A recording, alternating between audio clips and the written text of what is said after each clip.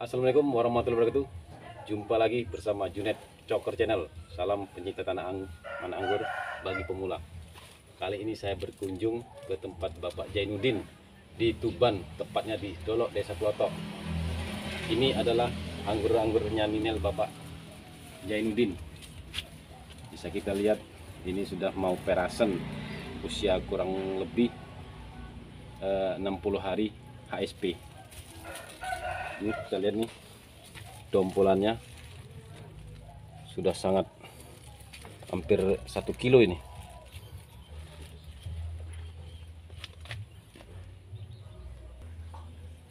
Kalau yang ini belum penjarangan usia 40 hari. Jadi masih gerombol buahnya pun buahnya satu tundun tapi belum dijarangkan. Ini sama jenis Ninel.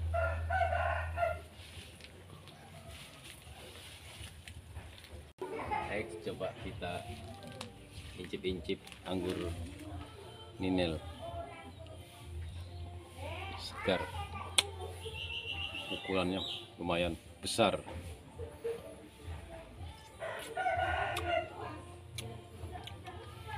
Lumayan sudah hampir manis kurang lebih 20 hari lagi perasan pul bisa dipanen. Masih terasa belum terlalu tua bijinya pun masih kelihatan putih. 20 hari, 20 hari lagi matang seger.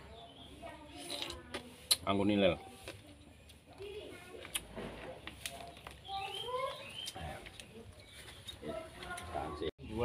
Oke sahabat penjata tanaman anggur pemula. Ini kebun anggurnya Bapak Jainuddin di Kabupaten Tuban Dusun Dolok Desa Klotok.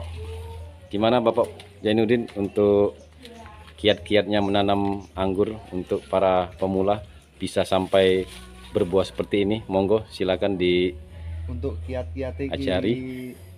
untuk pemula bagusnya itu pemilihan roster itu juga sangat penting. Misalnya kayak Isabella, Red Master, terus CN itu yang figur itu di sini tuh CN kalau Isabella mungkin kalau mu- musim-musim hujan ini biasanya banyak yang kena kena jamur terus terus macam-macam lah biasanya. Tapi kalau CN alhamdulillah. Lumayan lumayan figur terus ketahanan juga lumayan. Untuk ini apa saya sambungi varian jenis Ninel. Ninel karena awalnya tag name itu Gosby berhubung kok pas berbuah dan mulai verasen kok bentuk buahnya warnanya warnanya merah berarti kemungkinan pas waktu sambung itu salah salah entres di jadi mungkin Ninel itu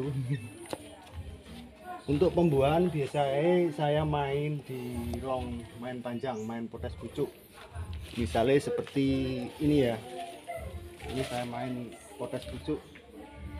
Saya, saya cari di batang tersier yang paling gede.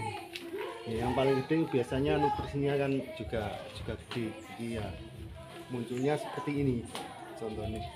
Nanti sekitar sekitar eh, 15 daun dari atas buah itu dibatasi istilahnya dibatasi biar nutrisi masuk melalui masuk ke ke bunga ke buah sampai ke pasca panen untuk penyemprotan biasanya waktu hujan itu saya dua tiga hari sekali itu pakai fungisida merek Redomil Gold.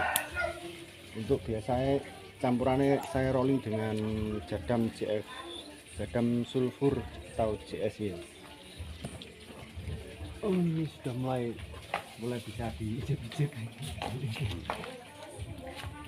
ini Ninel semua ya Mas Jainuddin? Ini Lorano. Lorano. Lorano ini.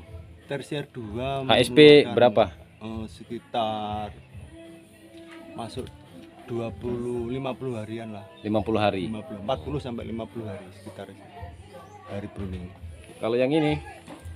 Yang ini Ninel ya sekitar masuk masuk 60 60 setelah 60 HSP. iya sama yang yang ini juga Mas ya Ini sama, ini 60 kalau yang ini ya potes pucuk itu gak hitung. Mm-mm. ini yang dompolan yang paling gede. Sampai rontok lu, sampai terontok. ini pemupukannya apa aja nih Mas Jainuddin? Pemupukannya Sistem NPK, pemupukan sistem kocor. Mas fase vegetatif. Masa generatif, masa vegetatif saya biasanya pakai TSP 36 sama NPK. Terus untuk masa masa tumbuhan itu MKP kayaknya 3 sama sama ramuan biasanya POC. POC. dari. Ada tambahan berarti POC, ya. Pak Jainuddin ya. POC blood. Ini masih secara alami. Tanpa GA, tanpa GA terus tanpa naungan tanpa naungan UP masih atapnya atap langit. Iya. Tapi alhamdulillah masih bisa. masih bisa berbuah. Jadi rekan-rekan sahabat pecinta tanaman anggur Hmm. pemula jangan ragu-ragu nanam anggur walaupun tidak ada penutup UP tanpa modal besar pun bisa. Anggur- penting rutin rutin fungi mesti dispray seminggu sekali tiga kali hari untuk pencegahan. Masih bisa dapat berbuah tanpa modal yang besar. Ini pun atapnya pun masih menggunakan pakai bambu dan kayu seadanya. Tapi kita tidak perlu butuh modal yang besar. Seperti ini pun pemula bisa menanam anggur di lahan-lahan yang sempit. hmm. ikut pilih sing apa-apa ora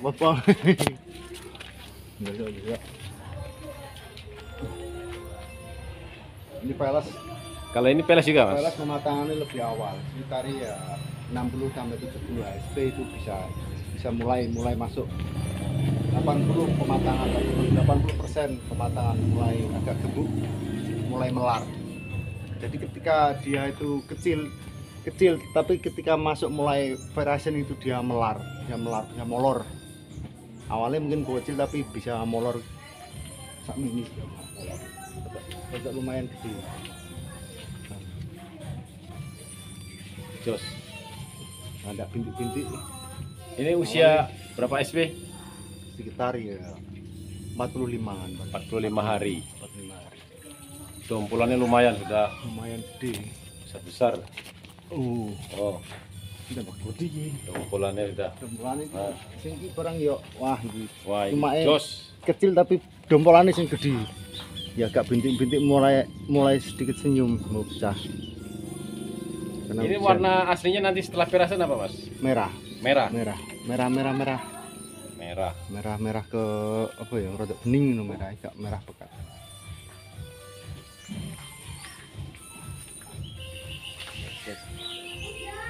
Sing fenomenal ya fan iki ya fenomenal.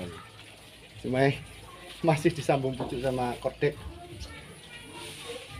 taldun tamaki tamaki ya unut nih tamaki jadi satu pohon bisa bisa 5 6 7 varian nanti kalau sudah besar bisa dicangkok atau dipanen empres untuk pembibitan biasanya gitu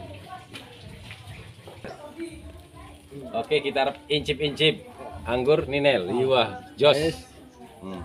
Ini sama adik-adik. Silakan mau nyicipin. Adik-adik. Hmm. Man puluh puluh merah wis terus enak lagi tak enak nih orang seger seger gitu itu Enak, seneng Mantap, guys. untuk dimakan ya. Anggur. Oke. Oke, sahabat pencinta tanaman anggur pemula. Sampai jumpa lagi, sampai ketemu lagi dengan eh, penanaman anggur